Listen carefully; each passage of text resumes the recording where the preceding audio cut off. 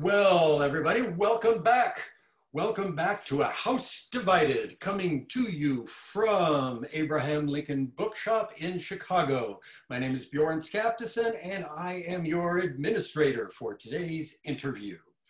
Uh, the book we are going to talk about today is Lincoln's Lie uh, by Elizabeth Mitchell. Now that's Lincoln's Lie, a true Civil War caper through fake news. I love the all caps on the dust jacket. Fake news, Wall Street, and the White House. Uh, it comes to us from uh, Counterpoint Publishers, and we thank them for publishing the book and putting us together with Elizabeth Mitchell, who's going to discuss the book with us today. It costs $26, and it is available to you, like I said, in I don't know if I said, but it's available to you in first edition. The first printings are here. And Elizabeth Mitchell, the author, has generously signed a custom Abraham Lincoln Bookshop book plate that we are going to send to you with your book. If you wish to order the book during the course of this interview, you're watching it streaming to you on Facebook. If you wish to order a copy of the book, I will put a link in the comments section. And so you can click right on through and you order the book and we'll ship it to you. You can also, of course, do that after the program is over. If you wish to ask a question of Elizabeth Mitchell, uh, you can do that by leaving a question in the comments and I will, uh, I will review the comments and curate your questions and share them with Elizabeth Mitchell. I'll probably pop in at about the half hour point of our conversation. So that's all I have that's all I have for us today. So I am going to introduce you to your host for this discussion, Daniel Weinberg of Abraham Lincoln Bookshop. Hello, everyone. Welcome back to uh, A House Divided. I'm in our usual studio that's embedded in our bookshop. Uh, and we wish Elizabeth was here with us. Vaccines are coming, so knock on wood, we'll have her for her next book here at the bookshop. Um, now, let me introduce who we have, and we're honored to have you, Elizabeth. Uh, Elizabeth has worked as an investigative reporter and a features writer. Her freelance writing has appeared in such publications as the Wall Street Journal, New York Magazine, Chicago Tribune, Book Forum, Smithsonian, GQ, O, Glamour, The Nation, that's just some. At the New, New York Daily News, she served as a senior long form writer. She was executive editor of the political magazine George. She has been interviewed on numerous radio and television shows. She's delivered lectures on journalism at Harvard University, Fairleigh Dickinson University, and others. She taught nonfiction writing at Columbia University. She's a co-founder of Read This, a volunteer group that delivers books where needed to troops overseas, children living in poverty, and public schools with no library. Huh. Either you're a Renaissance woman or you can't keep a job. sure which one this is. So, you're the author of three nonfiction books Liberty's Torch, The Great Adventure to Build the Statue of Liberty, Three Strides Before the Wire, The Dark and Beautiful World of Horse Racing, and W, Revenge of the Bush Dynasty. She's authored novella-length nonfiction works, including The Real Story of the Statue of Liberty, The Fearless Mrs. Goodwin, about the first US female detective. Her latest book is, as Bjorn said, when you see in back of me, um, Lincoln's Lie, a true Civil War caper through fake news, Wall Street, and the White House. And as Bjorn said, Counterpoint is the publisher, 288 pages and $26. And remember, you will get this signed bookplate that uh, she's so graciously signed for us and uh, will come with there. Uh, actually, just a book question, Elizabeth. Why are there no illustrations in this book? Was that your publisher's point of view? It was the publisher's decision, and uh, you know there was a moment where I thought, "Wait, what are we doing?" But then I, I actually am okay with it in as much as I wanted it to have this kind of narrative drive, and there's something about having it look like a you know a, what we think of as you know maybe a novel or what have you that helps that experience so that you get to imagine the characters just you know the the people in it based just on the descriptions that were provided by journalists of the day or things that I've been able to fill in. Uh, fair enough. Uh, a, a quick question about George because I remember it well, and many of our listeners or viewers will. Uh, just very briefly, Yeah. what was your experience at George? How did you get involved with John John, whom I remember being born, by the way? And uh, how did you find him to be? Well, I was um, I was working over at Spin Magazine as a features editor, and I was headhunted to go over to George um, by William Vanden Heuvel, who had worked in the Bobby Kennedy administration, um, and he uh, said, "Would you be interested in meeting John to talk to him about this new magazine he's starting?" So I went over there as a senior editor, and about five months in, I was promoted to executive editor, and then I was you know served as the number two for him for you know i think it was three and a half four years and um, it was incredible i mean first of all he was as lovely as people think he was. Um, he was just a wonderful friend as well as you know boss and all that. And his whole interest was in getting more people interested in politics and feeling like they could make good decisions. And so it was a post-partisan publication that looked at you know people across the political spectrum but always with that idea why do they believe what they believe? Are they effective? You know um, what are their faults and foibles? And then you know letting people make their own decisions so uh, yeah he was i mean he was fun he was great Well, we miss him positively. We miss uh, George, and uh, thank you for being a part of it and helping us because I enjoyed reading that magazine while it was still around. yeah thank and you And something I wanted to say is that you really have a gift of painting word pictures of people. So maybe we don't need those illustrations. also of places and events. And it's a wonderful historical narrative that will truly sweep you viewers, you readers along. We had uh, Ted Widmer here, who uh, I I understand is a good friend of yours. And uh, his book was like that too. And I think the two of them vie for wonderful reading. So I, I think you. everyone should get this, and Lincoln people should get this, and you'll see why, because it's going to upend a few things with you, and uh, we have to uh, contend with it. Let me ask you about your sources very quickly. What Sure. were your best primary and secondary sources? Uh, and especially since newspapers of the day were so hyper partisan, yes uh, how did you separate fact from fiction? Well, first, first of all, I spent a fair amount of time at the Library of Congress and also at the National Archives looking at, you know, raw documents, letters between uh, various people who were involved in the story of this book, um, and, uh, you know, and also Civil War records in the National Archives.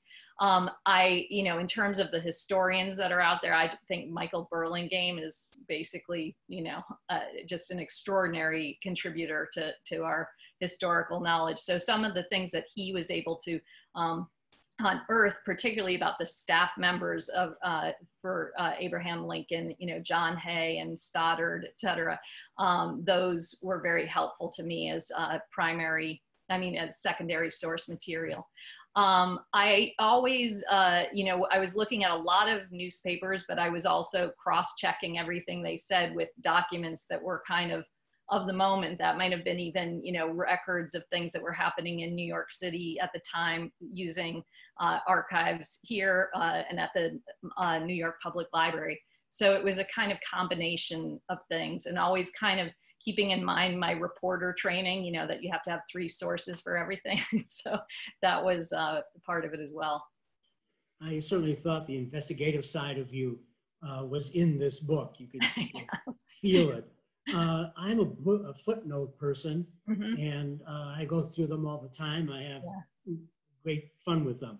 Yeah. Uh, but I want to ask you this because after events longer long ago involving Stephen Ambrose, Doris Kearns Goodwin, and Stephen Oates, historians have tended to use footnotes so liberally that sometimes they're a quarter of the darn book. yeah So as a journalist, which you which you come from, And but writing as an historian, what is your approach to this? How do you mix footnotes, the numbers of them, with acknowledgments and stated bibliography? Well, first of all, I over footnote to start with. I basically footnote everything as I'm working because I want to be able to go back and double check everything. Um, and also, uh, you know, and when you're doing a project like this, it becomes an incredible memory game, you know, where you're trying to you know recollect exactly which letter it was and you know which image on your you know hard drive and all that um, corresponds. So i over footnote and then i think about it in terms of my own work. How many times i've gone to books and thought if i could only have you know the source where they got that information i would be able to both examine it for veracity but also you know it could lead me to other things. And so i I tend to footnote for my colleagues, let's say, you know, the people who will come later who will write histories about Abraham Lincoln and the Civil War or what have you, and they will want to know how I mapped it out. So that's what I do. And then when I realize it's getting almost nauseating to have so many footnotes, I try to cull some um, just out of courtesy to the reader. Hmm. Well, I mean, though many of us, I said this uh, on a book not long ago that I've always wanted to interview an author only from the footnotes. I know. And, uh, you know, there are some good, good uh, books for that. Yeah. But, uh, nonetheless, I'm forced to read a book nonetheless. Let, let's get into uh, some of the meat of this. Uh, first of all, Joseph Howard Jr. is mm-hmm. the main person here with uh, Mary Lincoln and Abraham also in here as prime uh, subjects. Um, and I, I want to start off, we'll, we'll talk a little bit more about Howard and his past, but let's put him on the inaugural train. And I always have fun reading a book that references historical artifacts that I've handled uh, here in the shop. And so one of them was Lincoln's letter to George McClellan, uh, you know, basically saying, what have you done with your horses that have made them so tired? Yes, yes. Uh, I handled that wow. years ago. I wish I had it back. Yeah. Um, another was uh, on the train, and here is the train pass. That's amazing. Or what, you, and you give the uh, the typescript of this mm-hmm. in your book on page 16. You can read this because uh, Howard was on the inaugural train and got this from Wood. There is his signature. Oh, great. Right there. Yeah. And most people don't know that on the back is this anti-fraud piece that uh, they put on so that it could not be produced by someone else without without that. That's so, uh, as a journalist uh, for the New York Times under Henry Raymond, uh, how did Howard perceive Lincoln? Uh, he spoke some wonderful words on the train. Uh, Lincoln did, and I don't know if I'm going to get to that, but how did Howard view Lincoln during the train ride? Did they meet? And what did he have to say about him? Yes, I mean they definitely met because he was an embedded, you know, what we consider an embedded reporter. So he managed to get on in Cincinnati and then take the train with Abraham Lincoln for the rest of the journey. So he was, you know, there, as you know, there wasn't a whole lot of restriction on how the journalist could move in and out of Abraham Lincoln's car. So there's even a moment where Joseph Howard sees Lincoln snoozing in his car and, and notes that it's fantastic that he sleeps with his mouth closed because this is more fitting of a president. But he started off being just sort of curious about him. Um, you know, he certainly knew an awful lot about him because he had worked with, uh, you know, as the assistant to Reverend Henry Ward Beecher, and Beecher had been so important to Lincoln in terms of the um, some of the thinking leading up to his uh, candidacy, and so uh, so he he views him in this you know at the very beginning in a somewhat detached way describing him in detail you know right down to you know the length of his back and things like that.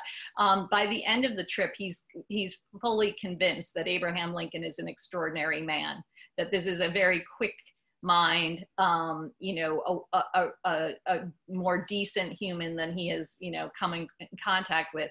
And yet as you you know learn in the book um, it doesn't prevent him from pulling a trick on lincoln that actually does some real damage to his reputation. Yeah we're going to get to that in a moment. Uh, what I wanted to just read was a couple of sentences, not with the question in mind, but just because I think it should be read right now. Uh, Lincoln noted how, in a, in a public remarks, uh, Lincoln said uh, from Burnet House, I think that was Cincinnati. Yeah. Uh, Lincoln noted how much more important government institutions were than party identity in securing the rights of men. Such a bipartisan celebration as the inauguration of a president every four years, he remarked, would be impossible without those institutions. I just wanted to read that. Yeah. Let's go. But, um, I have a feeling I know why, but yeah, we all do. Uh, so I want to talk about uh, really the power of the press, which you have been in. Uh, I'm going to show you a sketch that Adalbert Volck did. This is one of the originals that came. The originals were lost. Mhm. Came from plates back later in the 1880s or 90s that came from those plates. And of course, everyone who knows the Lincoln story knows how he went through Baltimore and uh, the skies, perhaps, but certainly in the dead of night. Yeah. Uh, so, uh, Howard was the one who invented the story of Lincoln sulking, skulking through Baltimore with a Scotch hat. Why did he do that? Well, he later in his career uh, is giving a speech up in upstate New York, and he talks about what motivated him. And he says basically when he was, um, you know, I, I don't know how I, I'll fill in a little just in case somebody who's watching doesn't know the story, but just that. So you know, he's reporting they're up in uh, Harrisburg, Pennsylvania, and they're about to go through Baltimore the next day, and uh, he uh, Howard's about to you know write his story and file for the night and he's locked into his hotel room by an agent um, this uh, agent who is telling him he will not be allowed out until the morning because there has been a threat on the president's life. And so howard is so indignant at the fact that he has been kept from the story that he starts just writing the story out in order to file the next morning. And he's used to writing with a lot of details at his disposal. And that's part of the charm of his writing, actually, is that he's very good at picking out the very specific things that he sees. And what it's one of the things that made him so popular as a New York reporter. But uh, he just decides he's going to make up the outfit that uh, Lincoln is wearing. And so he, he blatantly said, you know, I, I imagined him in the cloak um, that, uh, you know, a general's cloak, and I put this little hat on his head uh, because I thought it would be, you know, picturesque. And uh, and so it's this Scotch cap um, and cape. And so what happens is people see the story the next morning when he's released and he's able to file, and it goes up to New York and it's put in the papers.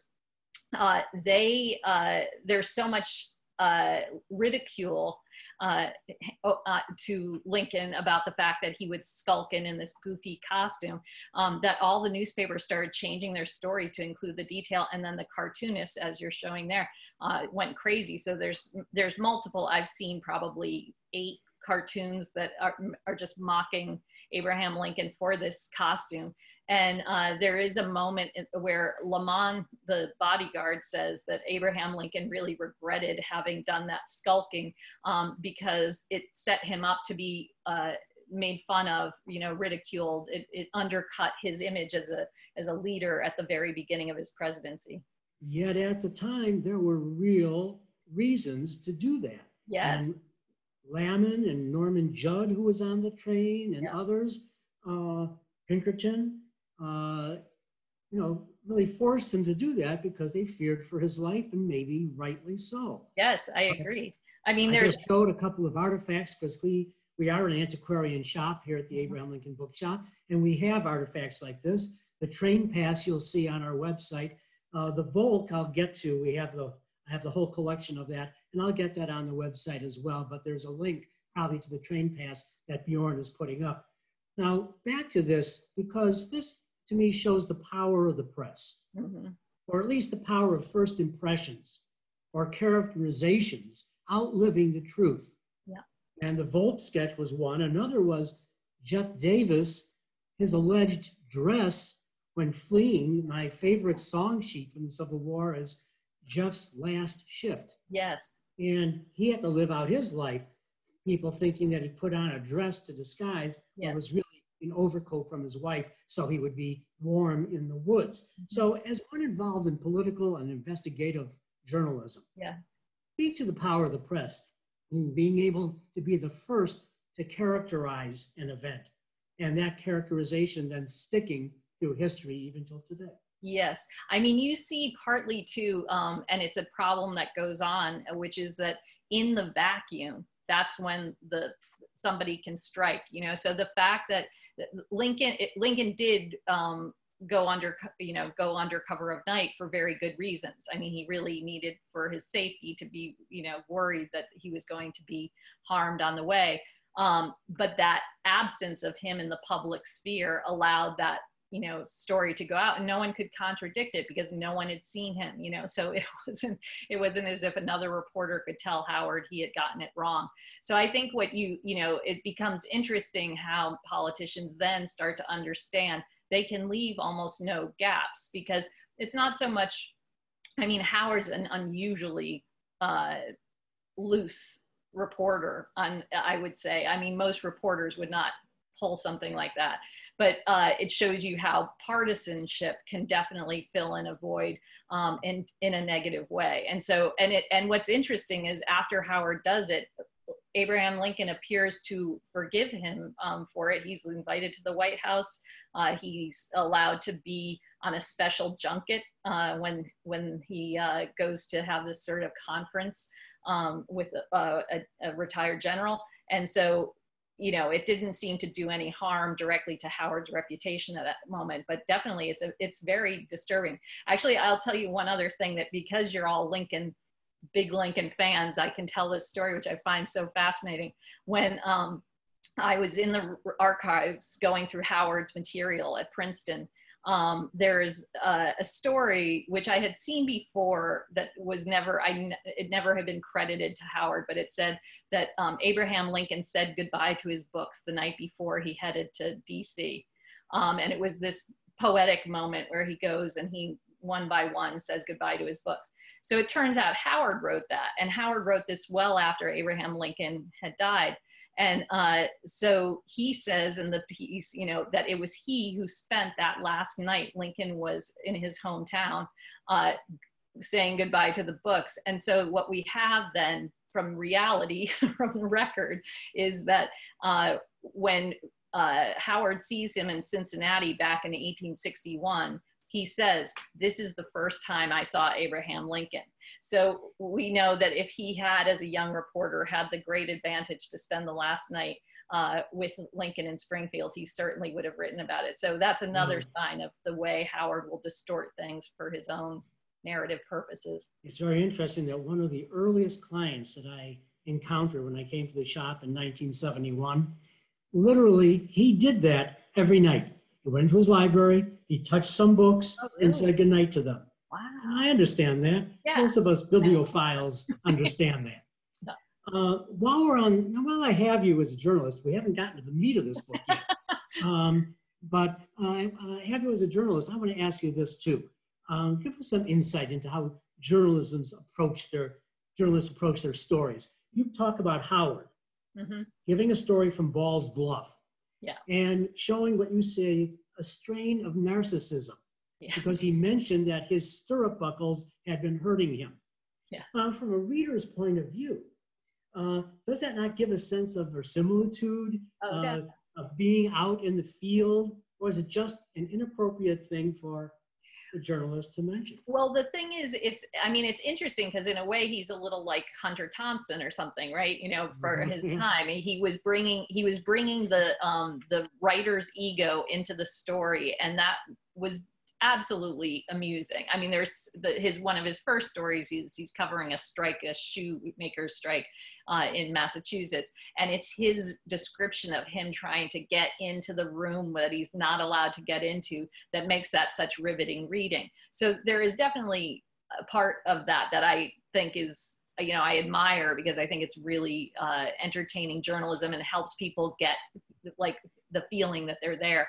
But it's a little insensitive because, I mean, he- this is in the same article that has a list of the dead, you know, so, so, I mean, for people who had lost their loved ones, you know, it would be like, you know, now during COVID, someone making a big deal about getting the test done, you know, but mm-hmm. and then having a list of the people who died. You just, it's just absolutely inappropriate in that circumstance. So I think it's interesting to see his character leaking out in some of his articles, and you can start to get a sense of this this character. Well, okay, I talked about the meat of the book. Let's get into that. Mm-hmm. Can you give me, our viewers, the mm-hmm. elevator talk on an overview of what this hoax was? Who mm-hmm. was who was Joseph Howard? We're getting a sense of him, Joseph Howard Jr. Uh, why did some of the papers fall for it? We'll get into that, but most did not. Uh, and how did the authorities find him, know that it was Howard? But give us a sense of what, what was this hoax? Okay, so basically, what happened was in May 1864, uh, in the early hours of, uh, of the morning, you know, three in the morning, uh, a young boy is running through the streets of New York near Newspaper Row, uh, and he's got a proclamation in his hands. And now, Abraham Lincoln had been, you know, sometimes was teased in the press for how often he was issuing proclamations. And it, basically when newspapers got them they had to run them almost directly because they're they shouldn't censor the president in any way. So they uh, so he goes to the different newspaper offices. Most of them are basically closed but he finds two where there's a printer you know running the presses and uh, and they take a look at these documents and realize this is right from the president. It's you know has uh, the secretary of war is also on uh, secretary of state is also on here. And it's calling for 400000 new uh, soldiers to go to the front where he will have to immediately institute a draft. And he's talking about the fact that all of these events, these um, battles that have recently been waged have been a terrible disaster, and we have to, you know, pray for forgiveness from, you know, uh, for because for some reason uh, the U.S. has been, you know, decided to be the monumental sufferer of the century. So uh, when the news breaks the next morning, you know, the stock market, particularly the gold market, goes into fluctuations. Um, people are gathering on the street it's a very tense moment because the draft riots had been the year before. And so this is a lot of tension that you know could be unleashed in the in new york and then have ripple effects uh, further. But on top of it there's a, a, ship that's about to go overseas to europe. And if it carries this news uh, this may very well influence how france and england view the united states and whether to just out and out recognize the Confederacy as a separate country. So there is a tremendous amount at stake. Lincoln uh, gets word of this, he immediately shuts down the telegraph office in uh, DC and he puts out an order later in the day saying that he wants the arrest of all the newspaper editors who are involved and military put in those newspaper offices to seize the presses. And this becomes a constitutional crisis.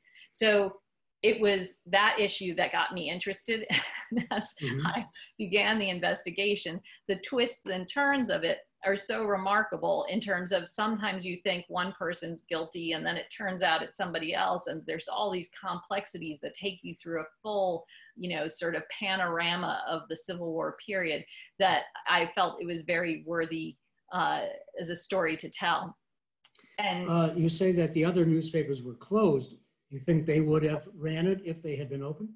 Well they were some of them had some of them you know i'm that's that's doing a kind of composite but um i mean they all had different stories. You know one had um somebody on hand who who took a look at it and sent a runner to the associated press to check on its veracity uh, was told it's false as hell and then just kind of kept that news almost to themselves um, so didn't let the other newspaper uh, newspapers know that. Um, others uh, yeah one was just closed didn't get it uh, it was a variety, but all all of the newspapers that were part of the Associated Press got the got the proc they tried to deliver the proclamation. Uh, I want to get to the motive yes. and uh, the crux of this as well uh, is that Lincoln did have in his back pocket a proclamation that he was thinking about, and I want to get to that uh, very quickly after this Bjorn, you might have something to ask right now. Uh, yeah, I do, because we have a question that came in from one of our uh, customers. Uh, but boy, we're right in the middle of the good part of, the, of the good part. But so I'm going to distract you, Elizabeth, just a moment because I want to I want to answer a customer's question, and we'll get back into the good part. Uh, but Brian from uh, Michigan, who's a good customer of Abraham Lincoln Bookshop, uh, it occurred to him, uh, and so he asked a question. Uh, he wants to know, do we know what Lincoln actually wore on the trip from Baltimore to Washington? Uh, yes, actually, the, it, apparently he wore a wool hat that a friend of his gave him in New York City, and then the cape was just his one that he owned. It wasn't some brand military cloak. Um, so yeah, we do know. Okay. sadly, he got, and sadly, he got that terrible. I mean, the and the hat wasn't even one that was so unusual. It was given to, it was fairly new to him because he had just received it as a gift, but it wasn't a very unusual hat. It was just what anyone might wear. Right. Right. Okay. I'm gonna. Uh, we we do have another question, and uh, uh, but that's just an. Uh, it's one of our uh, customers sent me an email directly and wanted to talk about Clement Vallandigham, and uh, I have a feeling, Jim, that we're going to talk about Clement Vallandigham at some point. But right now, uh, uh, Dan and Elizabeth were on a roll talking about this this fake news, this fake proclamation. So I'm going to duck out and come back if we get any more uh, any more questions from customers. So, uh, what was um, uh, what was his motive to put this fake mm-hmm. proclamation out before we get to the next step in the book? Yes.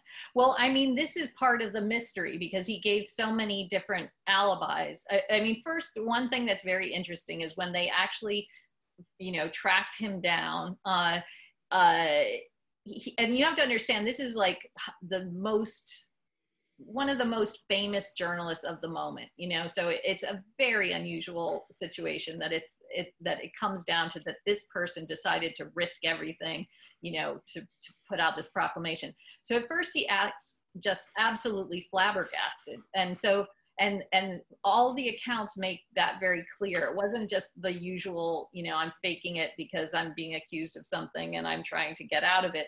It seemed that he was absolutely bewildered at the fact that he was being arrested.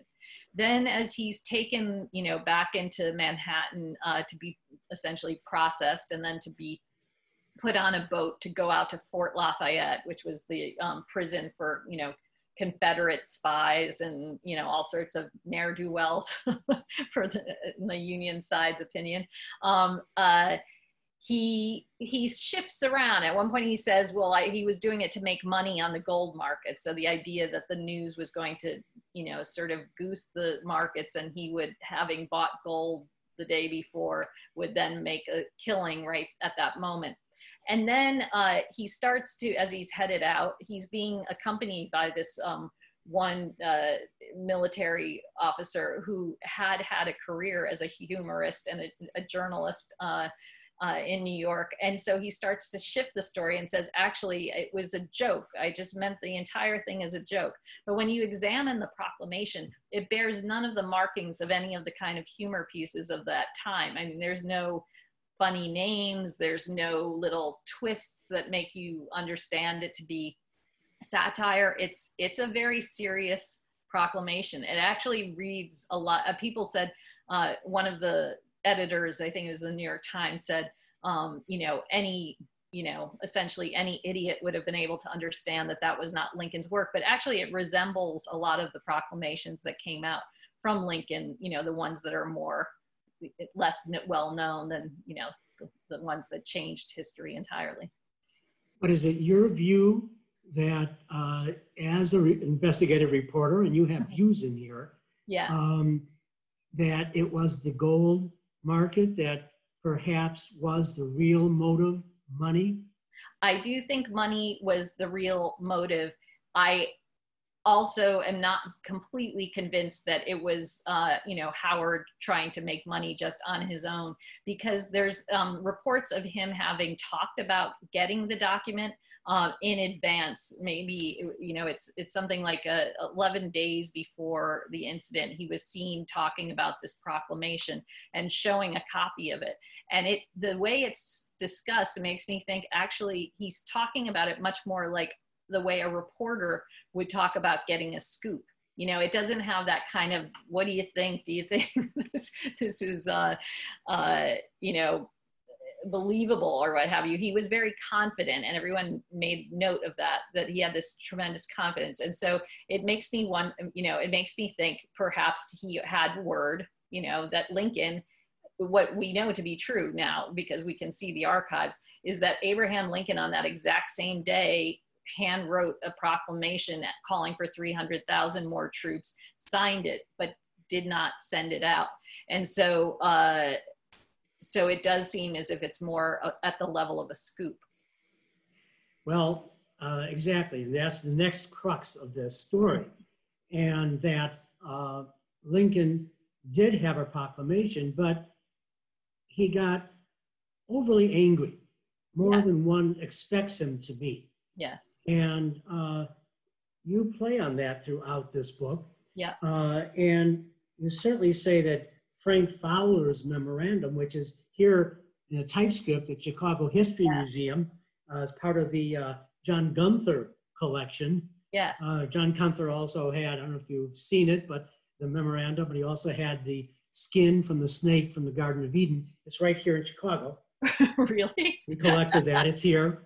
That's fine. And um, but the original copy of the proclamation, one of those proclamations that was being handed out that day yes. by Howard, one of his, is here as well. Uh, yes. I understand.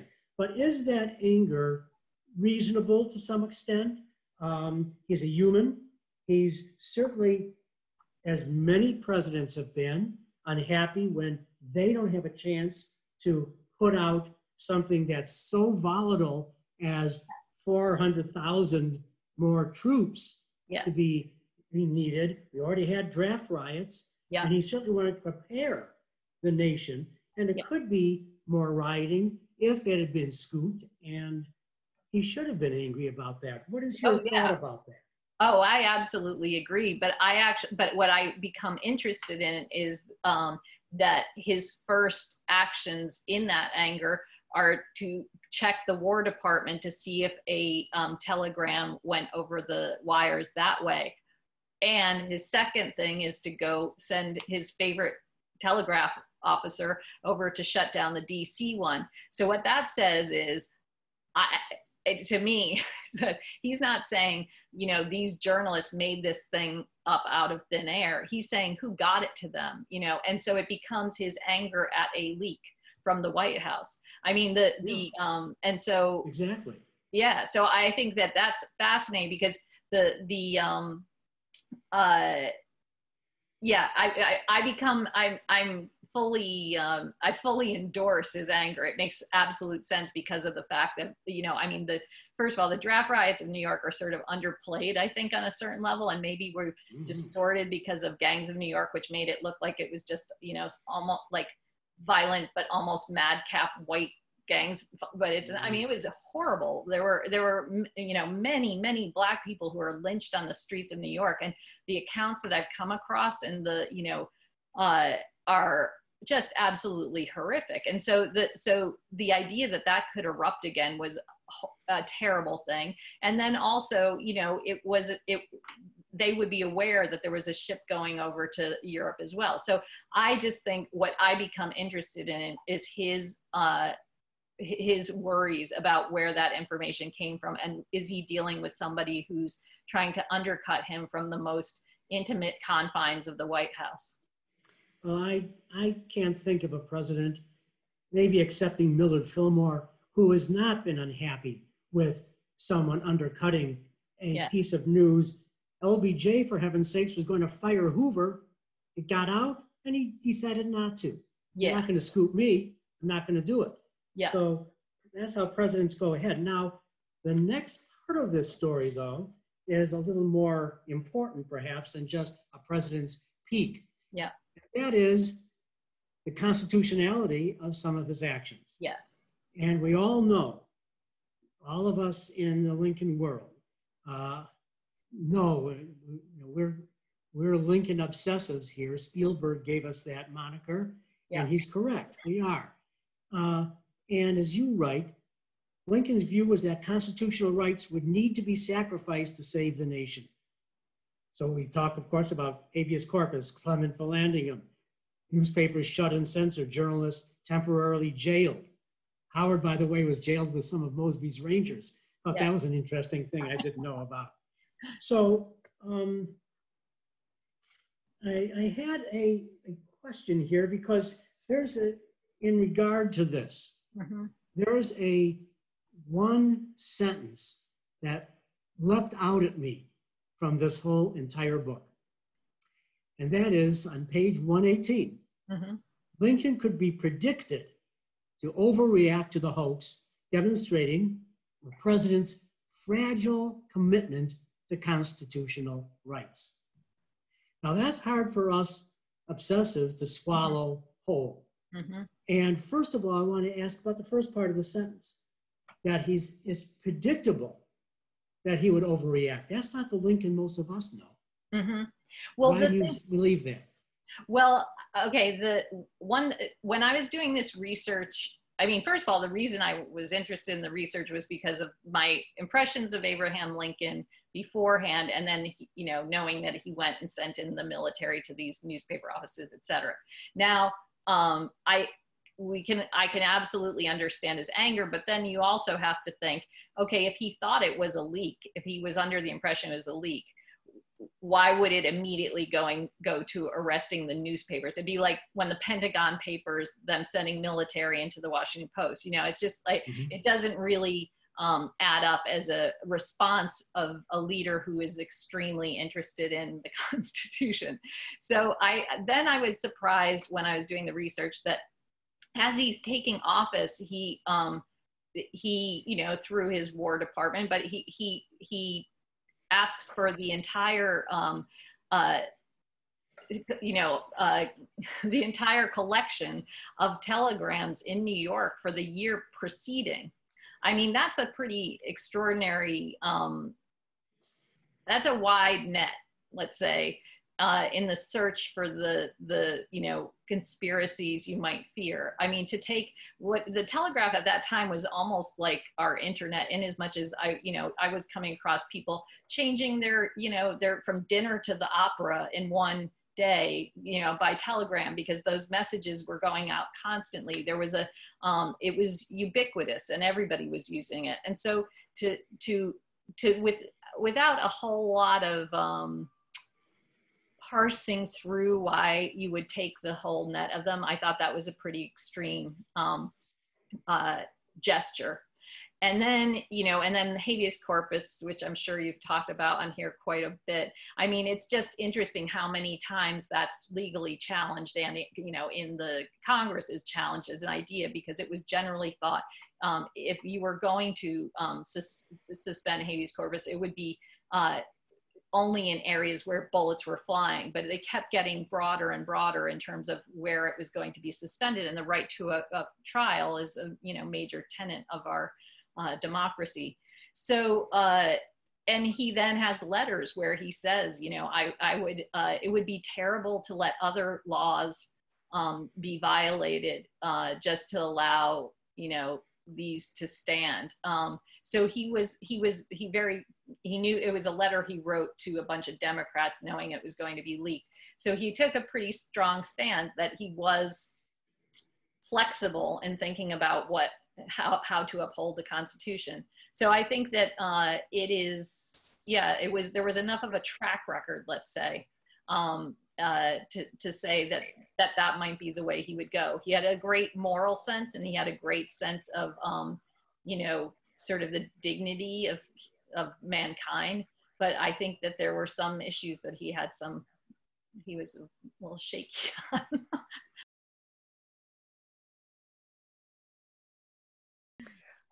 Mary Lincoln. yes. All right. So in general, the story is, is known of the hoax, although you've brought out a lot of material that maybe we really don't know or have not paid much attention to. Uh, but, you know, is Mary, one of the things is, well, why did why do you believe Mary was behind it? Is it inference? Do you have a smoking gun? Uh, he, Lincoln, in another story, I'm going to bring two of them together, um, went before Congress. Uh, Carl Sandburg wrote this very movingly, how he went in before the Committee on the Conduct of the War, hat in hand, and swore that they were in a secret meeting in the morning that usually didn't do, that his wife, that there was no traitor in the White House, even though Emily uh, Helm was there, and they may have, that's one of the reasons that may have sparked this. But nonetheless, both those stories kind of conflate a bit because Mary's in the background. And so uh, you say that Lincoln was covering up the truth by separating the leak from treason. Maybe you can speak to that. Okay. I don't think Abraham thought that Mary was being treasonous. Well, no, I think that I think that uh, so when it becomes an investigation, they are they are thinking it's treasonous that the State of the Union, what is now called the State of the Union, was leaked, um, and uh, he and I find it I found it very exciting too because you know that story of him going hat in hand um, then there has been a whole examination. They say, oh, that's apocryphal because, you know, A, he, you know, they didn't have morning meetings. They didn't do that. But then I went back and found the actual newspaper account of him going to the, you know, appearing on the Hill um, just those five days before his son died. So it's right in that pocket. And he says that, you know, he doesn't know of his family having treason, treasonous activity. Now, the thing is, that in the quote, even the original one that we've heard, he says, as as um, to my knowledge okay number one. And he says no member of my family was involved in treasonous activity. Now i think that that allows a whole lot of room for her possibly to have leaked that document but he's saying it's not about treason. This is not there's no reason to investigate her because this is not anything that is going to cause the downfall of the nation. And so uh, and there's enough evidence that she was involved because there's all sorts of witnesses who are you know testifying to her um, you know having moved this information around within the white house. And she's in the most tragic situation in the world which is her son is dying. I mean so the her husband going and making that plea i think is right in the realm of saying you know what you're you're just trying to do this investigation for for no benefit to the country. It's only going to cause harm to this person. So so there's so that's one incident of the um you know pos- her possibly leaking. But in this case with the fake news we have sunset cox writing to manton marble and saying the, the proclamation that you're that Manton Marble was one of the editors who got in trouble just to give the background. Um, he was the editor at the world but it it says he says um, the proclamation that you are you know now that got essentially that got you into trouble is based on fact and it may have come from mary todd lincoln. So that's the first whiff of you know this is possibly her. Um, the other thing is uh, that that there we know the information got up to New York, it got to Howard. We have another account in that, um, uh, uh, I'm blanking on the name right now, the um, brigade, the, the one about the Civil War journalist, um, that Joseph Howard was a close confidant of Mary Todd Lincoln's. We also have the fact that Mary Todd Lincoln had um, just a couple of weeks before this written a letter to one of her biggest creditors, um, a, a department, you know, uh, in New York. Um, she was known to have this shopping mania, and she had a debt that was about $26,000. And she wrote saying she was going to settle that debt by June 1st, which, you know, this incident is May 18th, and, and June 1st to come up with that kind of money, which was more than her husband's salary for the year in a matter of weeks, suggests that there was some strategy she had in mind. She had come up to maybe maybe it could have been for her the money. Oh yes. That's why she. Yes. I, that's my belief. And there's, I mean, there's, uh, I mean, we know that she was distraught about her debts at that moment in time. um, she she confessed this to Elizabeth Keckley, and he she was really worried, saying, you know, that the debts could be used against her, and also that her husband, if he lost the election, she she they would come out, and she was so worried about how he would view her if uh, he knew of the level of debt she was in. Uh, Bjorn, if you don't mind, I'd like to go with a couple of more questions, if I may, even though we're going to go over the hour. If Oh, that okay makes sense you, to me, if it's okay with you, Elizabeth. Yeah, that's fine. All right, well, let's, let's That, that do, uh, put me let's do what they here. call extra time in soccer.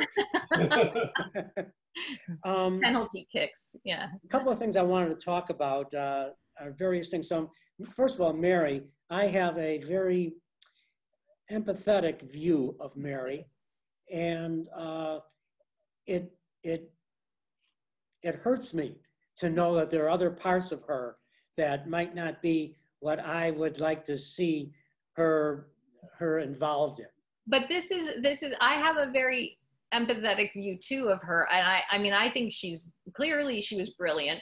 She often knew the truth about the people surrounding her husband. But she had a mania and it's i mean it was perhaps you know connected to depression that we know that she suffered etc so um yes Yeah, i think these two things are possible she could have Yeah. you know that she could have done it and she's also suffering Yeah, and her character could not handle, I think, throughout life, but life sent her. Yeah The kids killed her mom, dying early on. Her husband, for heaven's sakes, shot right next to her, and etc. So I I think she part of that mania may have been. I'm a son of a psychoanalyst, so without having her on a couch, I Yeah. can't really delve into what that mania came from. But it's it's from very various aspects. Um, one of the things I just want to here's something uh, out of left field. Mhm. The Telegraph, you're right. The Telegraph didn't bring Americans closer, but seemed to reveal its fissures. Sounds very modern. it does doesn't it i mean i Something thought that like uh, we have social media today that was supposed to bring us together, but I know. I thought that was amazing because you know it's one of those things too. You come across that and you think, oh, that's just me reading into the, the similarities. But then when you have Samuel Morse actually trying to create a society to reunify the country, you know, the inventor of the telegraph realizes how pro- problematic it is. I thought that was just fascinating, and so actually it was very interesting to me to see how um, people started to mature and be educated in how to deal with this technology and the ways in which it could be misused. And even now, you know, I think that we've done a lot better than we did four years ago um, in terms of tracking these things. And hopefully we'll get even better. But it was very interesting to see that this was that that version. new. Of, yeah. Yeah. Um, I'm not going to go into this right now, um, but uh, you bring up the Rebecca letters. Yes. We, all of us in the Lincoln world know about that. Uh, you who don't, Google it. Um, and of course, the Lincoln, uh, Lincoln buying a German newspaper, uh, which he couldn't read German, but he wanted to reach out to the German voters who were so important to him Mhm. and um, but he secretly did that and kept that really a secret and and diverted you it's interesting you say you write that diversion tended to be a favorite tactic of lincoln's for getting a difficult eh, through a difficult conversation Yeah. so he certainly diverted when it came to the german newspaper that he owned and going forward from it as well but you know is that again that left me Mhm. possibly thinking you were thinking that this is a trait of, of Lincoln that he was trying to be secretive and manipulative in some fashion. And I, it might be, but Mhm. I, it's not the Lincoln I, I have come to know over 49 years Mhm. and I'm ready to learn, but it's- it seems that's not him to me. To Mhm. me, it's also perhaps the private nature of the man. Mhm. Um, his personality was to be private. His friends during, after his life, all said they may have had him surrounded. They didn't know the real Lincoln. They didn't Yeah. know the crux of the man. He was private. And this could have been something besides maybe being somewhat scandalous, although there was a lot of interconnectivity between journalists, newspapers, and politicians. And this was not something new. Uh, and people of the day would not have thought that too scandalous, but maybe he thought that. But I think it was the private nature of the man. But Please. the only thing I thought from that, though, that. the only thing I thought from that, though, because I've had the, you know, you know, good fortune or you know interesting life or what have you to be involved in a lot of circles you know be, through magazine work and all the rest and so i've come across a lot of people you know some of whom are well known and i think that the only when i read that having read so much about him in preparation for um, writing this book i actually thought that's not privacy necessarily. That's a that's a um, that's a complexity of character that makes someone unknowable even though you've spent a tremendous amount of time with him. And so um and even the way he goes and hangs out at the with the telegraph officers i thought that was really interesting too because they loved him very much right? But that was a um you know half of the time that he's there he's just he likes it because he can be himself and he doesn't have to put on any kind of show but the other half he's reading everything that's coming across the wires and you know sort of monitoring it which is half great right? Because you want a president who is involved in knowing all of the details of um, of being an administrator and a leader. But on the other hand it also is there's something there's some other characteristic to that. I thought that some of the things that he did i think i mean overall i do believe that he's a very he was a very moral person and it was an extraordinary amount of courage to decide you know enough is enough and i'm going to um, take the risk of my life to to get this country on track to be more of what it's supposed to be.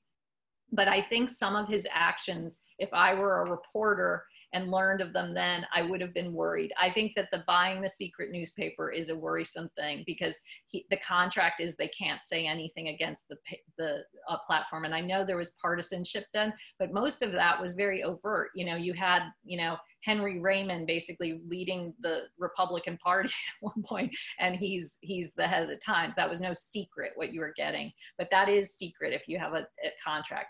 I thought that his writing, you know, I don't think he did all the Rebecca letters, but I think he did the first one because the banking, you know, obsession was not Mary Todd Lincoln's work, and so writing a critique of someone you're facing, you know, uh, you know, uh, a political opponent essentially um, under a false name is a little troubling. So I Was just troubling think, then or just today? I would think it would be troubling no matter when you, you were mm-hmm. operating. I mean, you know, uh, it certainly was troubling to the person who he was satirizing or what have you, because he accused him, you know, challenged him to a duel.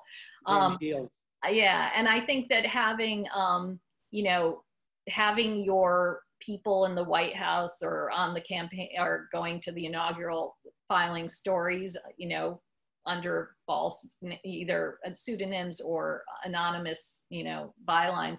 That's also a little bit concerning. It makes me, I don't think he did those things by accident, let's say. I think that those, I think he knew what he wanted to accomplish. And so let those things occur. Well, um, then do you think that knowing this, now I'm, I'm happy to see Mr. Lincoln as a mortal, yeah, as a human being. Exactly. Yeah. Because at the same time, it makes him to me more of a hero. Yes. Uh, yeah. Because a human being like him, thankfully we had him and whom he was, and a wonderful exemplar for him, for us today, for yes. kids, for us as adults. So, uh, but I don't mind him being a complex pe- person. I think we need to, and you've brought something out here that maybe we have to start uh, chewing over a little bit more. Hard to do that when we don't have them on that couch. Yeah, but let's say this too: is that I think there's something healthy about okay, Abraham Lincoln clearly was necessary for this country to to be you know able to go forward and hopefully be the greatest country has ever been uh, seen. But uh, if we only thought of him without that complexity, it makes us never get able to have another Lincoln because people would think I can never possibly be as perfect as that human being was. So it's actually, mm-hmm. I think that showing some of these complexities is good. And the other thing is, like when talking to somebody else, I was thinking, you know, why can't our country be like that the country is heroic you know what i mean that it's amazing that this group of people who fight over everything and you know there's media holding the president to task and the president's doing things that you know a lawyer has to take you know bring to task. I think that that's um that's where the heroism can lie you know and we can point out what extraordinary things abraham lincoln did uh, but it doesn't necessarily have to be this you know this perfect uh un you know untainted well sure. Then then here at the abraham lincoln bookshop we're really uh, high priests at the altar as I yes. once said before. And I don't want to be that. And I do look for flaws, and I appreciate your bringing one out. Well, and here's the other thing, uh, because my friend Ted Widmer and I were discussing this, is that, you know, we always were wondering, how does it, you know, how do people devote their whole lives to writing about Abraham Lincoln? And then when we started writing about him, we realized we could easily do it because it's his complexity that makes him so fascinating. I mean, that's why, you know, having 5,000 books about him is well worth it because there's so many ways to look at him and, you know, different parts of his life to examine. So I think actually it, uh, three or four times that number. Yeah, I think know. about 16, 17,000. True. So can we, can we still keep him up as number one on most oh, lists? Yes. yes. Okay, shoot. Yes. Yes. I feel better. Yes. Bjorn, you're back on. Elizabeth, thank you so much. This was fun. You. I'd I like to continue this because I had more to talk about. There are many stories in here, and I think all of us in the Lincoln world should devour this book because you're going to see that complexity, and we should grapple with it as well as people who love Mr. Lincoln. So thank you, Elizabeth, so thank much for writing so much. it and being with us. Thank you. Congratulations, Elizabeth, on, on scoring your penalty kick. right you. in there. Did very well, and uh, and thank you for joining us on A House Divided. I'm going to quickly tell the folks at home uh, about some upcoming um, some upcoming shows. But first, Elizabeth, I want to give you some good news. I hope you take uh, mm-hmm. us promoting someone else's book as good news. Uh, the Smithsonian Magazine today uh, released their 10 best history books of 2020. Now that's all history, not just Lincoln and Civil War. And two of the authors that appear on this show made the Smithsonian's top oh, 10 list of best books in uh, history in 2020. I'll add to that that for the first five years that we did this, we picked the Lincoln Prize winner every time. Wow. The publisher wouldn't send a, an author to us that was the first time we ever failed to nail the, uh, you know, get down the Lincoln Prize winner. We're, so we're pretty much the uh, 538, Nate Silver 538 of prize winners. So when Lincoln Lincoln's Lie goes to goes up for prizes, thank you. You've been on the right. You've been on the right show. Thank By you. By the way, uh, Bjorn, Ron Chernow was on with his Washington book two weeks before he got the Pulitzer. Wow. Exactly. So yeah, that have been Blight, uh, right before he got his Pulitzer Prize for the uh, Frederick Douglass that's book. Right. So uh, that's it's reason to be hopeful for when yeah, thank gets, you. To the, gets to the juries. thank hey, you. I want to tell everybody at home about upcoming events. And we're starting the 2021, we're starting to schedule our 2021 season for uh, A House Divided. And the first book that we have actually booked is Benjamin T. Arrington, The Last Lincoln Republican. Uh, it's his book on the presidential election of 1880. And that is, of course, Garfield versus Winfield Scott Hancock. Also coming up in 2021, we don't have them to show you, uh, don't have them up on the website yet, but uh, Karen Cox will join us with No Common Ground, her upcoming book about the Confederate monuments uh, controversy of 2020 of the of recently, and uh, I know I know Daniel will really enjoy having doing that interview. Um, and then uh, a lot of other a lot of other great books are coming out in 2021. As you said before, 2020 was a great year for Lincoln books, and I think 2021 is going to continue in that. So for everyone, so to everyone at home, from everyone here at Abraham Lincoln Bookshop, thank you for your uh, patience with our technical issues. Thank you, Elizabeth, for your patience with the technical issues and for staying a little bit long. Oh, And uh, we will see you next time on House Divided.